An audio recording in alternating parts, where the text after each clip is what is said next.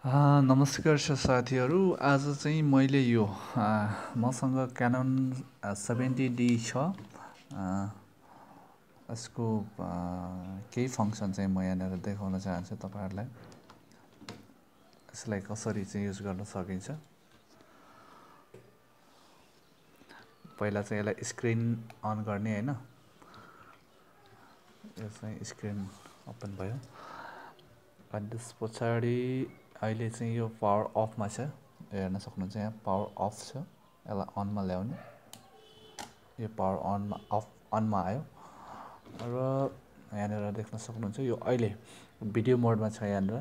Video मोड यहाँनिर देख्न सक्नुहुन्छ यो रेड भिडियोको सिग्नल छ।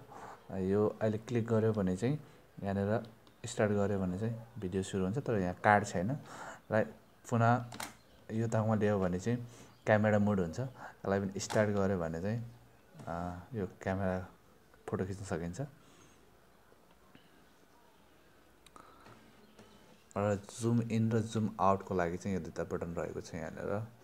अनि पावर सर्टको लागि चाहिँ यहाँनिर देख्न सक्नुहुन्छ।